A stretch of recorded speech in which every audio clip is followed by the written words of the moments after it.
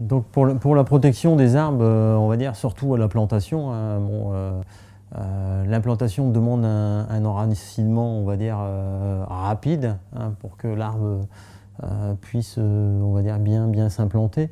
Euh, il faut éviter qu'il bouge, donc bah, déjà un, tuteur bien fixé.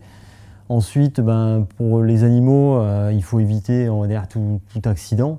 de, de, pâturage ou de, de coups de corne ou d'épluchage des écorces. donc le plus, on va dire, le plus efficace, euh, enfin nous sur l'exploitation, ce qu'on a réalisé, c'était des, espaces de cage en bois euh, entourés d'un barbelé, euh, donc avec trois ou quatre piquets et des planches, hein, sur à peu près un, mètre sur un mètre sur un mètre, et une petite production pour les, lapins ou les lièvres hein, qui peuvent venir attraper, on va dire, les écorces en base. Après, euh, une fois, on va dire, euh, passé à l'âge euh, un peu plus adulte, là, on met des cages picots, hein, surtout sur les, les pommiers, hein, qui, on va dire, est une essence un petit peu plus attractive pour, pour les petits, surtout les petites génisses hein, qui, aiment bien ronger un peu. ou mettre des coups de corne. Donc bon, là, on met soit une cage sur les plus jeunes, euh, voire même deux sur les plus âgés pour éviter qu'il y ait des, accidents de, euh,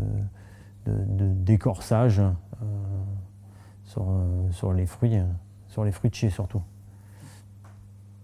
Euh, c'est peut-être plus handicapant avec des, des genisses parce que bon, bah, ils, sont assez espiègles, ils vont s'amuser avec les, arbres, ils vont chercher à monter plus haut.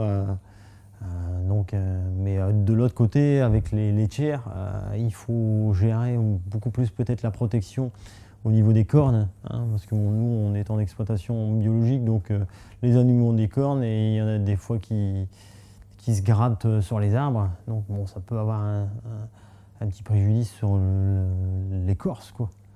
de l'autre côté, les, petites, les petites génisses ou tout ça vont peut-être plus chercher à, éplucher Hein, les écorces. Donc euh, c'est différent.